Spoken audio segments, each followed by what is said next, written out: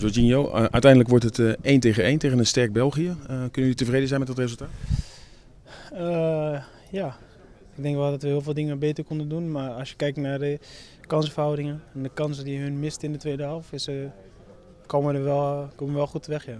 Was dit ook een ideale tegenstander voor die wedstrijd van zondag, die belangrijke WK-kwalificatiewedstrijd tegen Luxemburg? Ja, ik denk het wel.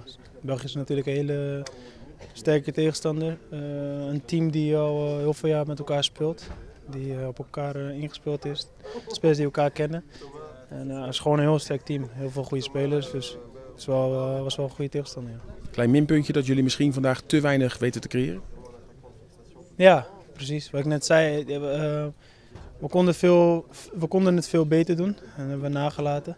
Al moet ik wel zeggen dat we na lange tijd weer naar de 3-5-2 gaan.